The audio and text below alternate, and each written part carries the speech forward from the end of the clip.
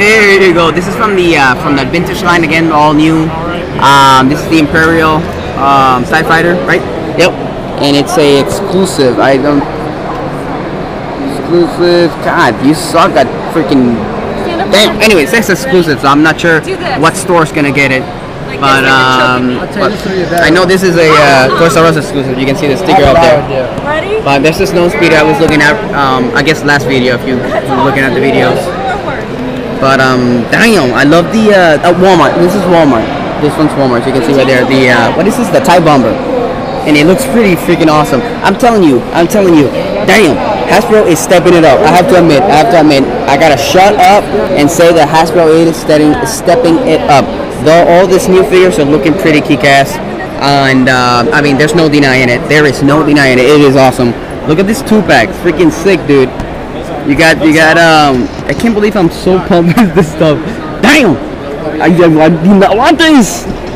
Um, I mean, I don't, I didn't want it because I don't really want to know because I didn't, I don't care for the figures. But anyways, Gr- Grievous, you know, the normal Grievous, and after he got messed up, um, Boba and, uh, and, oh, it's just Boba, Boba Little and Boba Big. Boba Little and Boba Big. Anakin and, uh, his former self, the douche. Um, who is this? Jodo Kast. I have no idea who that guy is, but it, you know, he's a, man, a Mando, right? Mando, Mandalorian. Looks awesome. Um, don't know who that triple sword bitch is. Looking cool. Love this guy. Of course, it's a trooper. Got some bounty hunters over there. Oh wait a minute. Shadow of Malevolence. Uh, it's from a DVD or something. I don't know. Sorry, dudes, but I haven't been on this for a while. Comic pack. This guy looks pretty kick-ass. Hold up, hold up.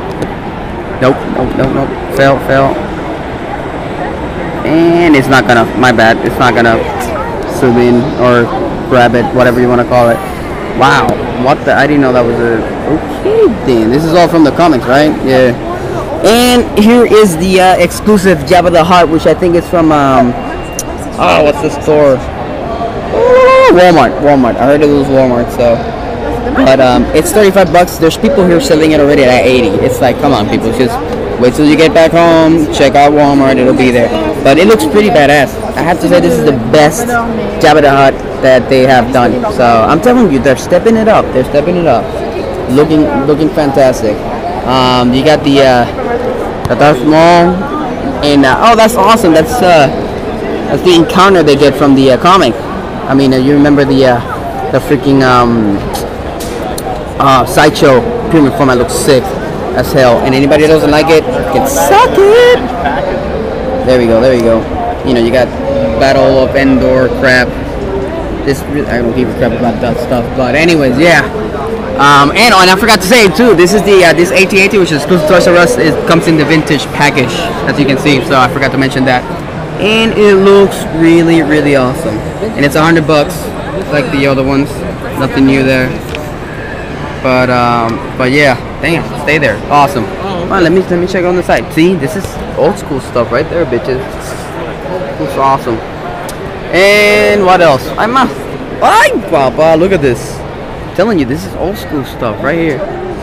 Um, this is a, a Toys R Us exclusive.